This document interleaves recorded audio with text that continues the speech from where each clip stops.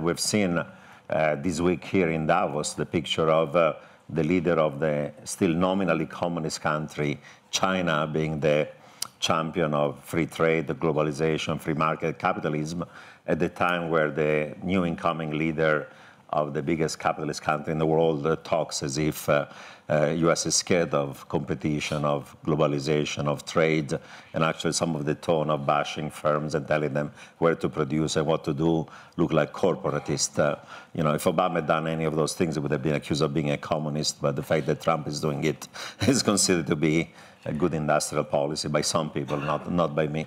So, so it's it's, it's, a, it's a major change.